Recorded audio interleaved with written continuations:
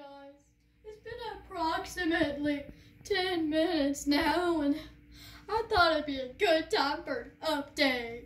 So, I've been hearing some rumors from my nasty rodent neighbors, and I think I might be getting a girlfriend for my cage. Oh, she might be beautiful.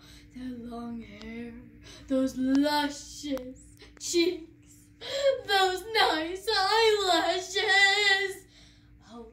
kiss to the cheek once in a while. I don't know. Anyways, I think she should be coming any second now. Oh, I thought you were lonely, so I brought you a pony.